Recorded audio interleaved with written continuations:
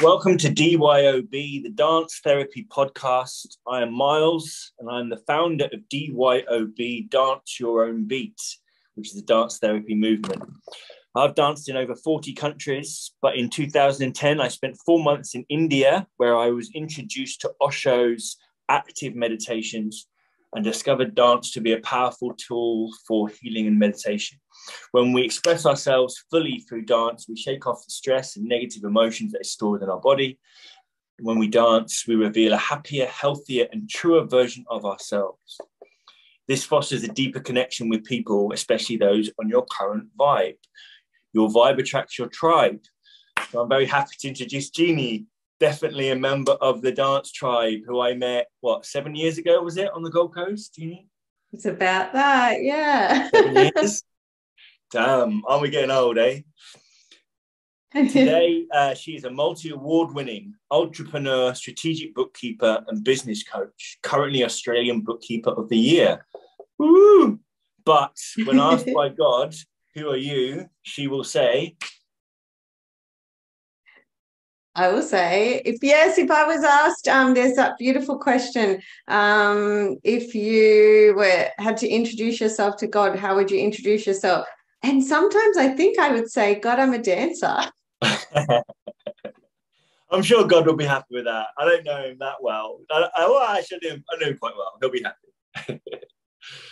Cool. So, um, so do you, what what do you think about dance being a, a, sort of a tool for healing, Jeannie? What do you reckon about that statement? Yeah, gosh, I have so many opinions on this. In fact, I'm just about to turn move my office as I work from home and turn my entire office into a dance, a beautiful dance studio for myself. I think dance is a portal to the crystal realm. Interesting. Excellent. Wow the crystal realm. Yeah, oh, like I call, I call it, you know, that's, that's, that's like the third dimension or the crystal realm. Yeah. All right. Okay. Cool. Tell me more about that. Yeah, so look, um, I'm as you know, Miles, I'm just um not too far off launching yet another brand. My my 12 year old says, Mama, you have too many brands. Anyway, it's my kind of final passion project, which links through to the strategic bookkeeper, which I recently launched. Um, and it's called the Healthy Bookkeeper. And with the healthy bookkeeper, it's all about your mental, spiritual, and physical health. I really feel there are these three elements that are these overarching parts of our health, right? And for me, dance is my spirit, very much my spiritual health. I mean, people say, oh, no wonder you're fit. And I think, you know what, dancing, um, it's probably a little hard on my body. but for me, it is my spiritual health. And I, I once um, spoke to a lady that's uh, she's a Christian, and her spiritual health she absolutely gets from her church and her Christian community, right? And she said to me, if I moved to a new place, the first thing I would do is find a church. Well, if I moved to a new city, the first thing I would do is find a dance school. Um, and it might sound funny because I love Latin dancing, but I love all dancing. Like I like, I love it all. Uh, but there's for me dancing is it's joy it's connection and it's belonging but i get to a and dancing is also bilateral stimulation which works better than antidepressants and it's been discovered if you listen to dr Cate Shanahan my the nutritional wind beneath my wings um, bilateral stimulation does something very strange and transformational to our bodies as well as our brains. Uh, I think it keeps us young, um, but that bilateral stimulation it literally releases these these drugs in our brain, right? And so it really takes me to a special place where I feel something that I I feel I feel rarely. I probably feel it when I buy quite a bit. Um, certain activities give us this kind of thing, but yeah, dancing is definitely my my spiritual well being. I think um I think the I, I agree completely. I agree. I, I hear what you're saying, and I can completely resonate.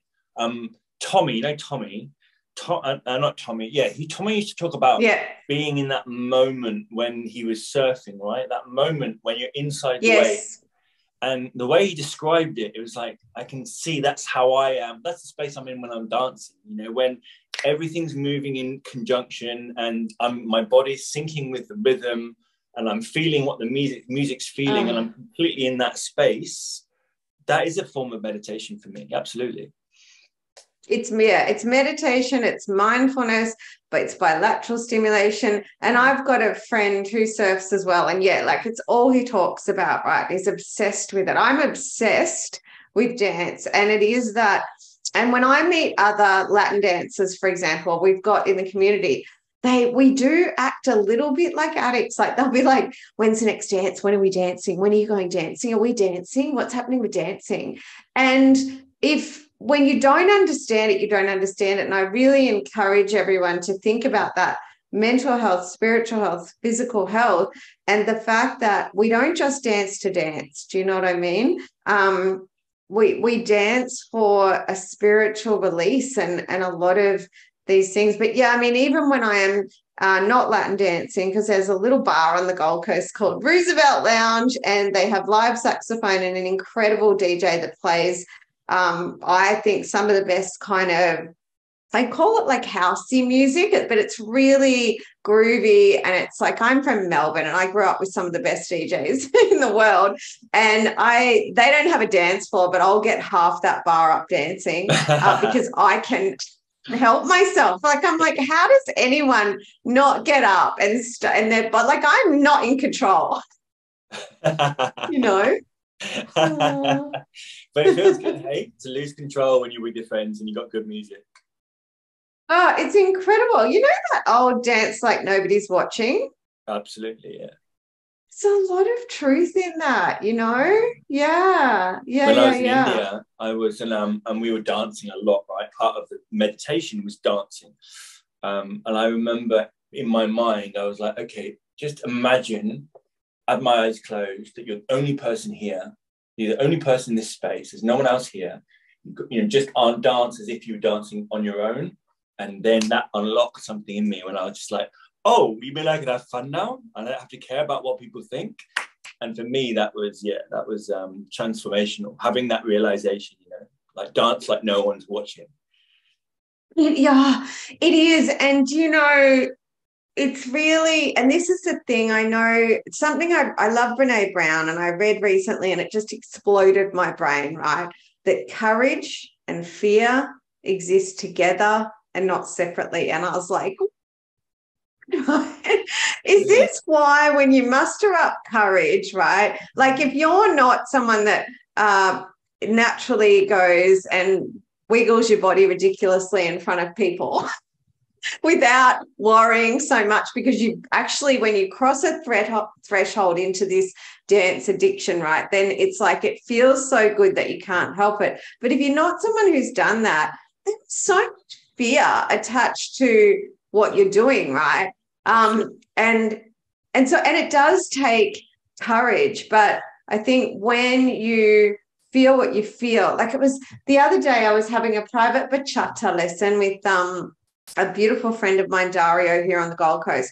And he asked me to find the one in the music, right? I'm, I'm hearing impaired, so I'm like, and anyway, I know, and he's and he knows that he's beautiful, and I'm like, okay, and I found the one, and I and so he had me doing just a little bit of basic bachata in the early part of the song. Now I could have just done the normal bachata step, right? So I'm going one, two, three, tap, as Miles knows this. And do you know, I cannot, I really struggle not to get out of my head and allow my body to go. So I couldn't help myself. And suddenly I shimmied. And he said, I'm glad you found the shimmy in the music, right? In other words, the musicality is telling our, it's sending a message to our body to do stuff. And my brain was like, Absolutely. I've been told to do a basic step, but yeah. I'm sorry, my body just kicked in. Isn't that cool? Yeah, so it's our mind that tells us not to do something that our body inherently wants us to do. Yes, it's true. And that's what I love about, you know, music is such a special, special thing. Like one of my family members is um is not well right now. And um it's actually she's it's a mental health thing, right? And it's been quite devastating to watch. She's young, she's beautiful. And you know, one of the things that is really recognized in that space is music. Now, she had not left the house for a social function for three years. This is a beautiful young woman in her 20s. And the first time out was to a dance school with me. You know, beautiful. Yeah.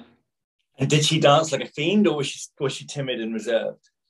Yeah, she was definitely that courage and fear existing together. So here she was, and she was really like she was always a real natural too. And I think when I say natural, if you can let go for a moment, you know, if you can let go for a moment and surrender to musicality. If your partner dancing, it might be, and you're following, it might be surrendering to the lead, remembering that both men and women follow, lead and follow. Often it's um, the man and the woman. It's like, no, it's the lead and the follow. I lead a man at my dance school, so he follows. It's beautiful.